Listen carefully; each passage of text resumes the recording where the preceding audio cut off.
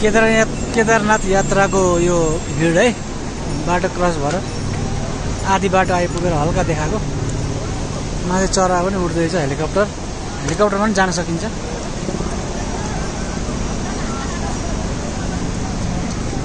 अँध्यारो मात्रै देख्छ गाइज होइन? फाइनली सात बज्यो। सात बजे म केदारनाथ पुगेँ। अगाडि मन्दिर आरती हुँदैछ है। अब त्यो आरती भएको ठाउँमा पुग्छु। बिहान चार बजे हुन्छ अरे अहिले अहिले पनि हुन्छ अरे। एक्ज्याक्ट टाइम जाँदैन अब पहिला आरतीमा गएर एकछिन बस्छु।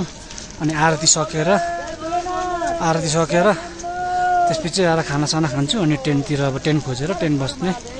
यही हो ल गाइस गाइस केदारनाथ दर्शन आउँदाखेरि चाहिँ यस्तो टेन्टमा बस्नुपर्छ है।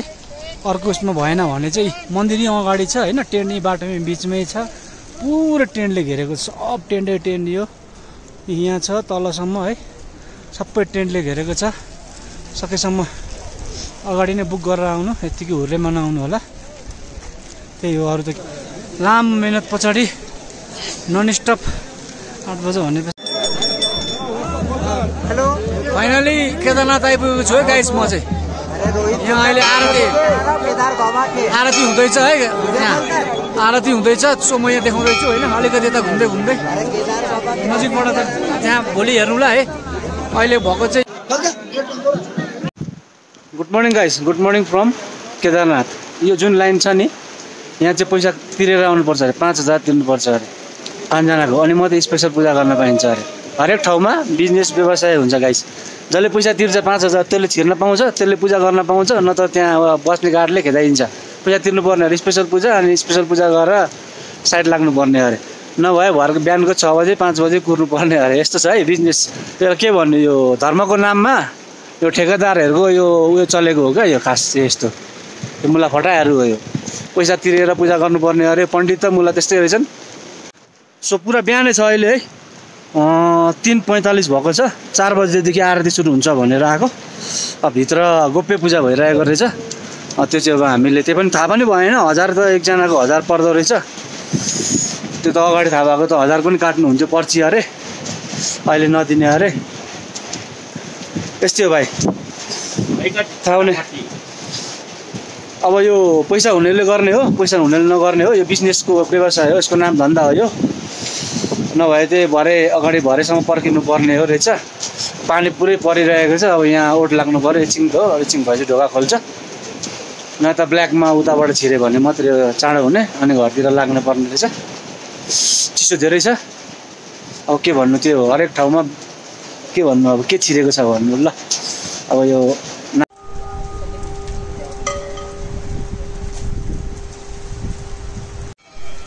लगाइस फेरि पनि म एक निन्द्रा दुई डेढ घन्टा सुतेर आएँ। अघि छिटो भएछ कि? सुतेर आएँ। अनि सुतेर आइसकेपछि अनि फेरि फेरि आएको छु। अब चाहिँ सुरु हुन्छ छ बजे भनेको छ। चालिस भयो पाँच चालिस भयो। मैले पूजा गर्नको लागि यो पनि किनेँ है।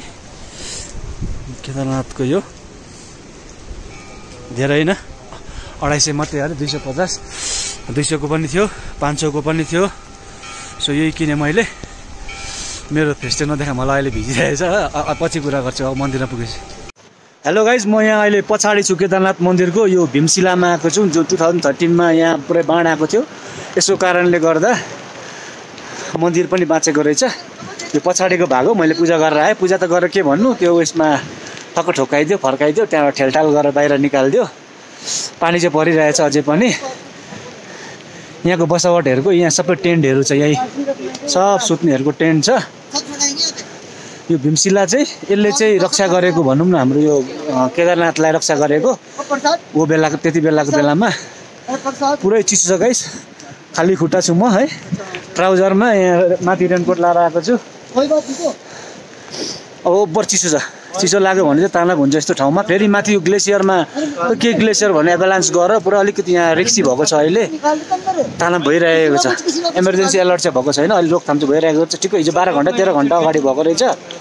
अलिकति टेन्सन भइरहेको छ त्यसै एभाला डेन्जर एभालान्स भएको रहेछ। खोइ के लेक? यही यहीबाट आउने त मन्दाकिनी होइन अर्को नदी साइडबाट त्यो लेकबाट चाहिँ एभालान्स भएर चाहिँ पुरा इस्यु भइरहेछ अहिले चाहिँ माथि।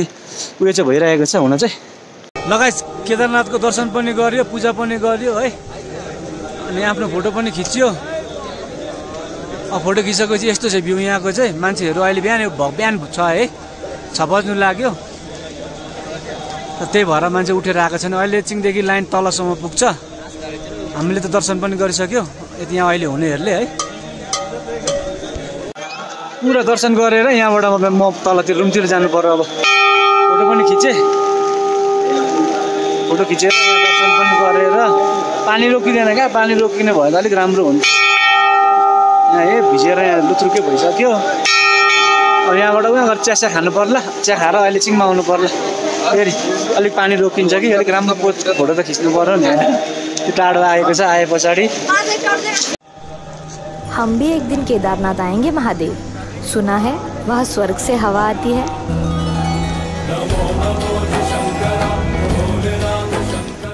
बहुत पुराना एक ख्वाब था जिसे देखकर लगा नहीं था कि पूरा होगा कभी। पर अब जब तुम्हें देखता हूँ अपनी आँखों के सामने तो लगता है जैसे सपने सच में पूरे होते हैं। महादेव हमने कहा था ना कि एक बार तो आपसे मिलने ज़रूर आएँगे और देखो हम आ गए।